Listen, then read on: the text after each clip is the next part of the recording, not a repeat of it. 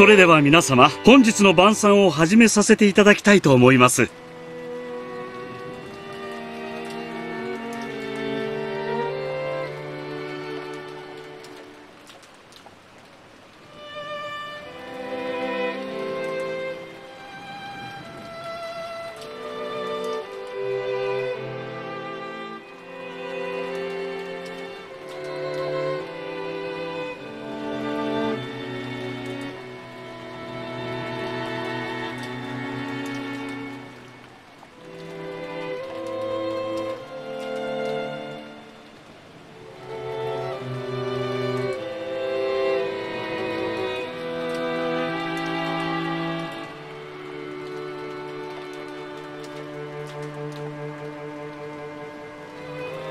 思議な子ですね。後宮家の1年間で最も豪華な晩餐を前に何も取り乱さないと。は最近の子は肝が据わってるわ。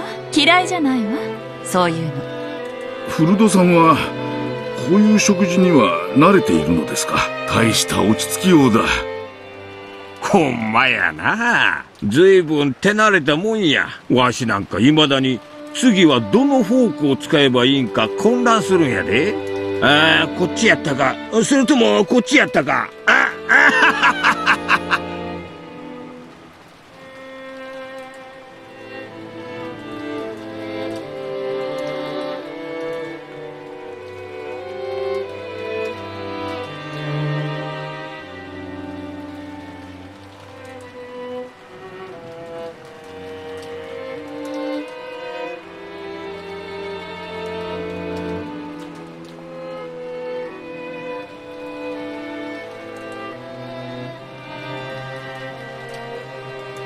外側から順に使うだけですし、面倒だったら、お箸を頼めばいいんです。日本人ならお箸です。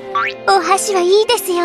これ一膳あれば、どんな料理でも対処できます。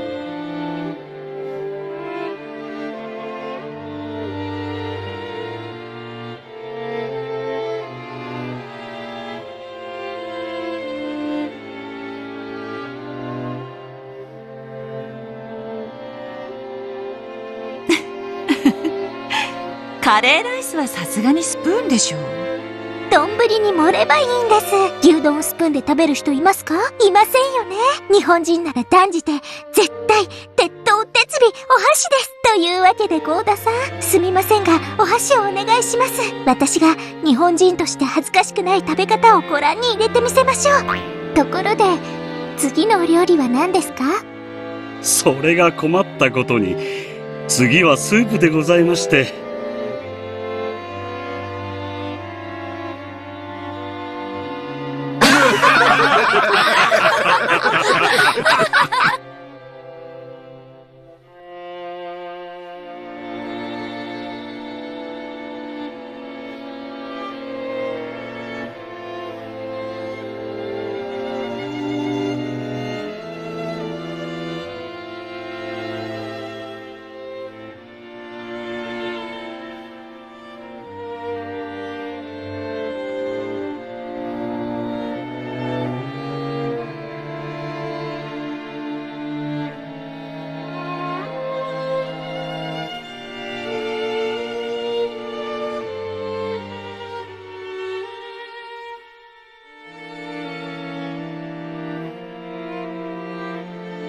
頭のいい子ね。本当にこの子、偶然の来客なの？実は、今日の親族会議にこっそり読んだ、兄さんの隠し子じゃないの？賢く、場を和ますセンスもあるようだ。マナーも見事じゃないか。あんな子が娘だったら、悪くはないね。それはひでえぜ。ジェシカちゃんの達成がなくならな。ひどいわ、ルドルフ兄さん。どうしたんだいジェシカちゃん。頭痛かい？私の評価がずんずん下がってる気がするぜ。こりゃ、本家の令状として負けられねえだろ。お前も。日頃、夏日おばさんに仕込まれてるテーブルマナーと貫禄で対抗してみろよ。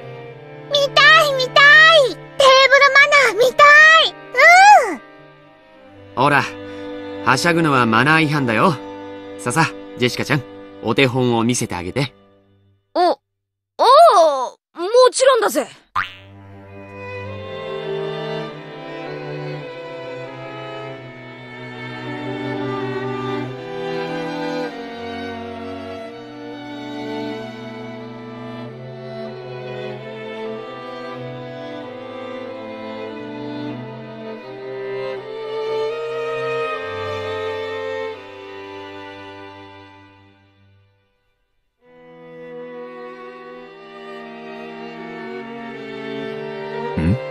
どうしたんだジェシカちゃん。腹でも痛えのか？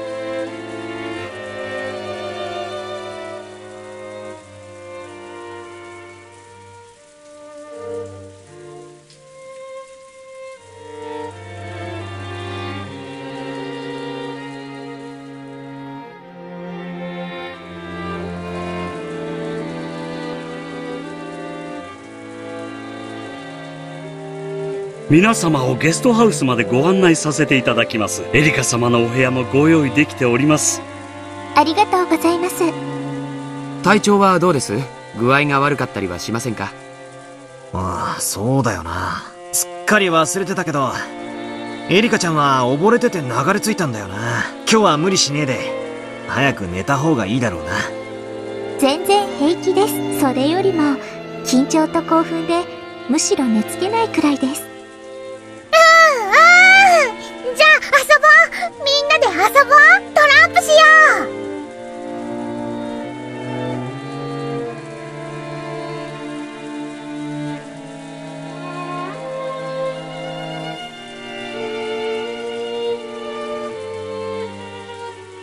マリア、トランプは私たちと一緒に遊ぼう。エリカお姉ちゃんは疲れてるんだってさ。トランプも好きですよ。一息つきましたら、ぜひ、ご一緒させてください。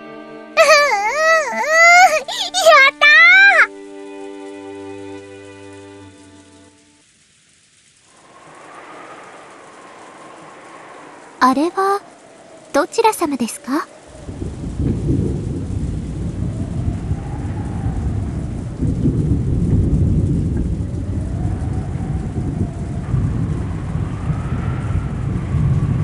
ああ、あちらは黄金の魔女、ベアトリーチェ様でございますよ。黄金の、魔女。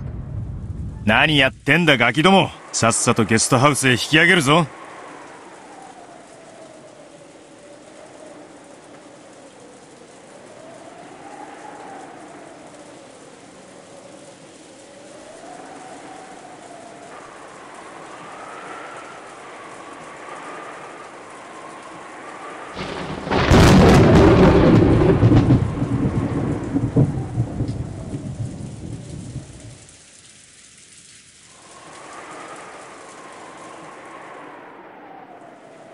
ああ、親父は200億相当の黄金を隠し持っていて、その隠し場所をあの碑文に記したって言われてる。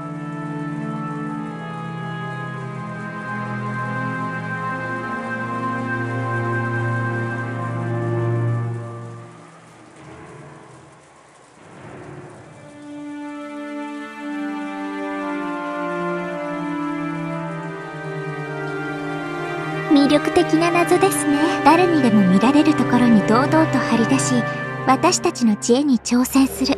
そういう挑戦大好きです。ひゅー。エリカちゃんは案外ノリがいいな。謎解きとか好きなのか？面白そうじゃないですか。そういう挑戦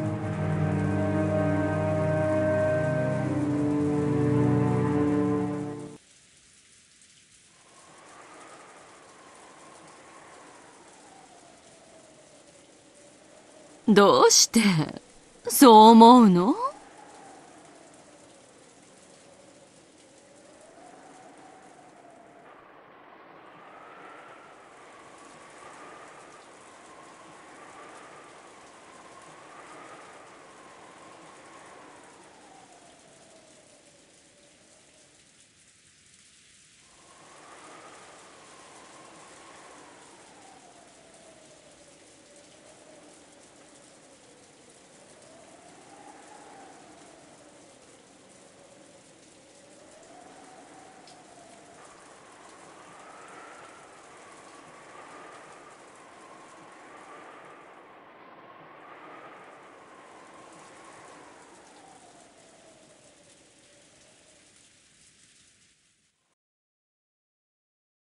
大富豪が謎を解いた者に富を譲るというのは、割とよくあるシチュエーションです。そして、ご当主の金蔵さんは、その碑文を新聞に載せたのではなく、お屋敷の中に掲示しました。つまり、このお屋敷の人間を対象にした謎だ、ということです。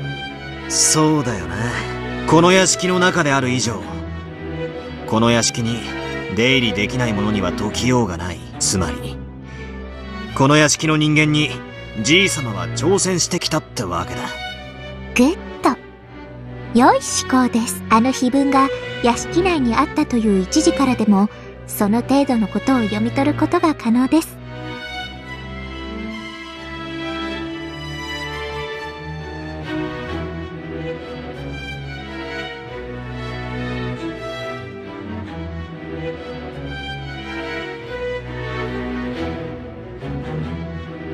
な、なるほどな。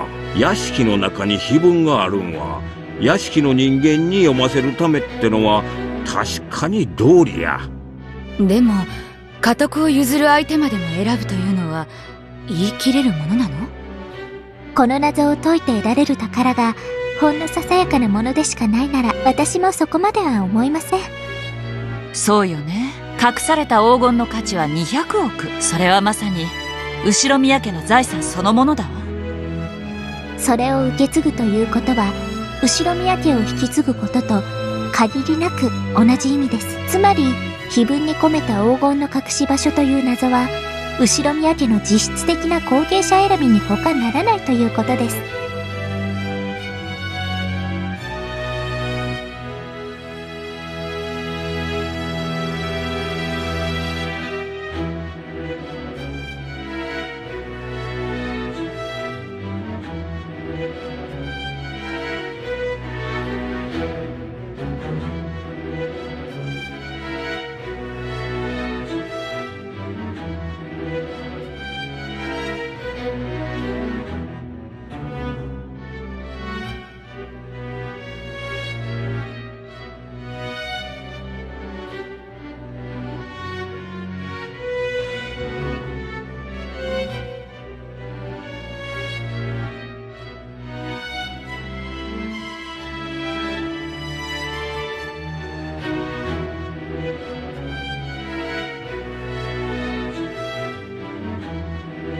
ただ碑文がそこに存在するだけで、フルドエリカは、この程度の推理が可能です。いかがでしょうか？皆様方。よ、横やりで申し訳ねえけどさ、一応は、うちの父さんが次期当主なわけだぜ。隠し黄金を誰が見つける云々はともかくよ。見つけたら当主ってのは、そういうことにはならねえんじゃねえかよ。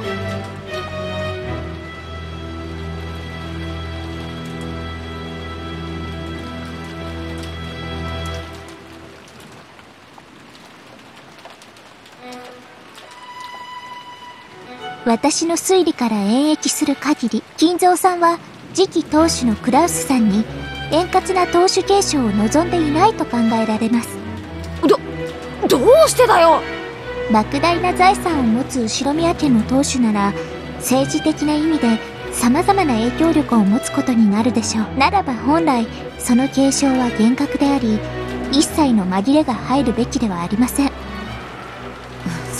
そ うね。うちの人の好きな戦国武将の話でもよくあるわ。跡継ぎ候補が複数いたりすると大抵お家騒動の火種になる。そやな。だからトラブルを未然に防ぐためにしっかりと後継者を指名しておくのが大切なんや。時には競合する後継者を粛清することさえあるんやで。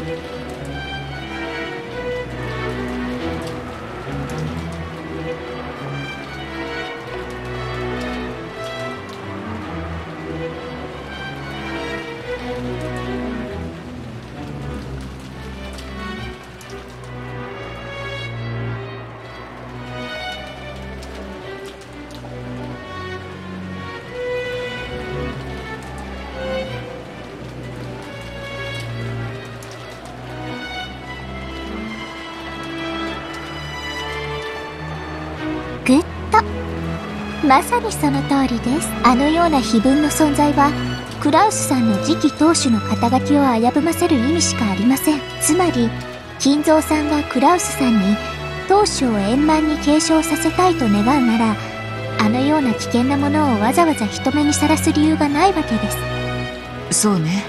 チェス盤をひっくり返せば確かにそう言える。当主は継承するけれども200億の黄金は譲らない。溶けた誰かに譲るというのはおかしな話だわ。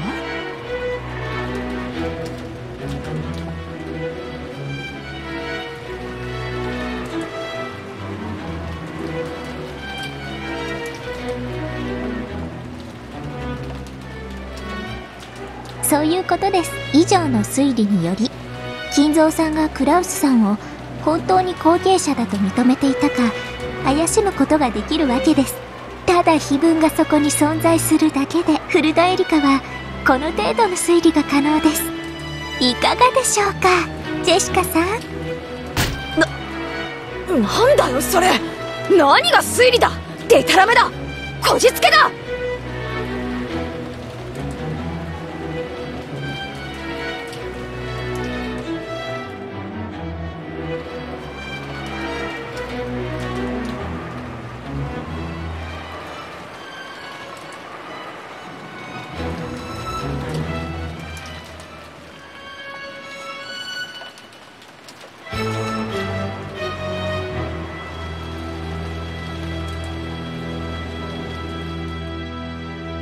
まあまあ、落ち着けよ、ジェシカ。